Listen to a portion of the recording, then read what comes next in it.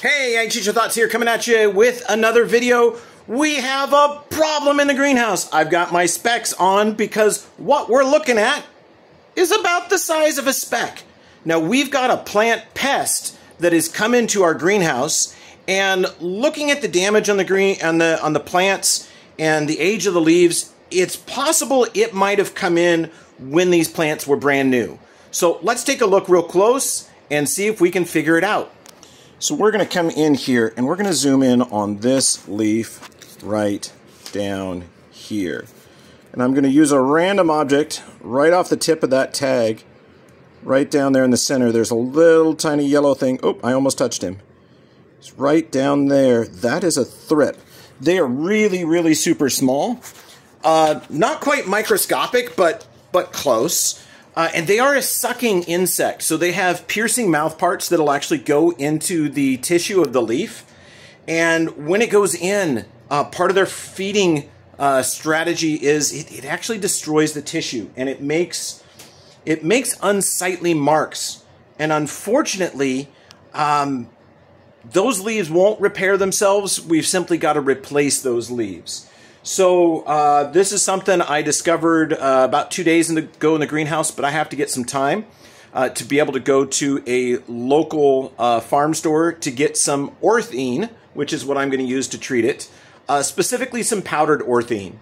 Um, and I'm going to come in and, and, spray these tomorrow. As long as it's not a sunny day, I'll be able to, to do that. Uh, today, they were saying there was going to be broken clouds, so I knew I couldn't do that. Um, and also, I've been working on the greenhouse. But this is one of the, the first pests, and honestly, with our greenhouse here in northern Idaho, it's the first time I've seen thrips on plant material this early. Um, and you will find it on your verbena first. So that's the, the, the thrip damage there. And then you look over here, and here's some normal leaves with no thrip damage. And then you come down here, and oh, look at all that thrip damage there. So one of the things about thrips is they do like uh, the plants there's a little bit more damage there. They do like the plants in the mint family, and they'll tend to go there first. Um, this, this is, this is probably, this one right here is probably patient zero. He's pretty covered in thrips. I'm surprised I didn't see him earlier. Yeah, right off the tip of my thumb. Let's see if we can focus in there. Those little crawly yellow things, those are thrips. They're escaping from my thumb. They don't like to be seen. Yep, those are thrips right there. So I'm going to come in and spray these.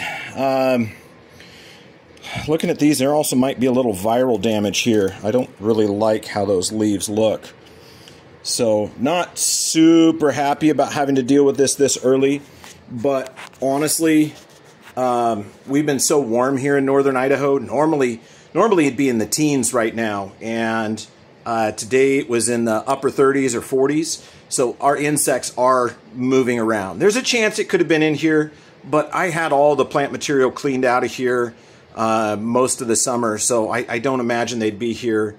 Uh, the vent fans didn't kick on. I have them turned off. So really it kind of narrows it down to it had to be on my plant material when it came. Um, and it's just a hazard. You know, looking at here, we can see the, the shape of the colony. It's kind of spreading out from here. It's on this plant, this plant, this plant, and this plant on there. So it's going to spread out. Oh, there's some damage starting on that one too. Uh, so I'll take care of that tomorrow. Uh, Got to get some spray on there. Now, the other thing that's kind of interesting is it hasn't gotten into my scaevola yet. So this is one of the scaevola flowers, and they're in the purpley blue colors, and thrips love blue. Wait, that's only the place that I'm seeing them right now is just in my verbena. So it's something I'm going to fix. I'll take care of it, but gosh, it's just part of it being a nurseryman. Um, thrips, whiteflies, spider mites, aphids. Uh, those are your those are your top four. Thrips, whiteflies, spider mites, aphids. Yes, your top four that you'll deal with in a greenhouse. Um, thrips are annoying. They, they make your plant material look bad, but we'll get it fixed. But anyway, I thought I'd give you an update video. I'll do one on the treatment, and then we'll find out a little bit more about that. But I've got to get everything in here treated. Somehow, I have a little bit of grass seed that mixed it in. But anyway, hope you learned something. Ag Teacher Thoughts out.